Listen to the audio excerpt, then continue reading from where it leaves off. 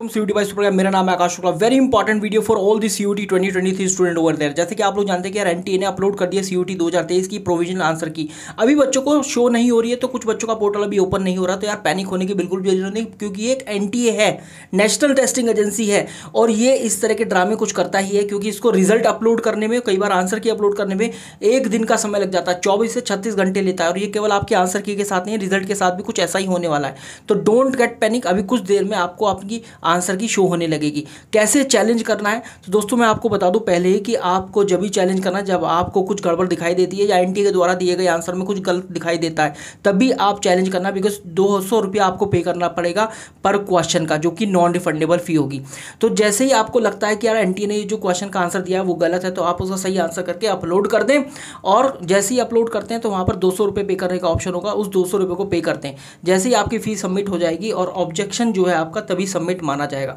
तो this is how you can submit your you know challenge और इसके अलावा मैं आपको एक बात और बता दूँ, अगर आप चाहते हैं फ्री ऑफ़ कॉस्ट काउंसलिंग तो guys we have best expert in the market yes हमारे पास एक्सपर्ट्स हैं we have the team of the expert who will be doing the free of cost counselling और आपको हेल्प करेंगे आपकी dream university dream college या dream course में admission दिलाने के लिए आपके सीयूटी स्कोर के हिसाब से। So fill the form link in description field and the pin comment as well thank you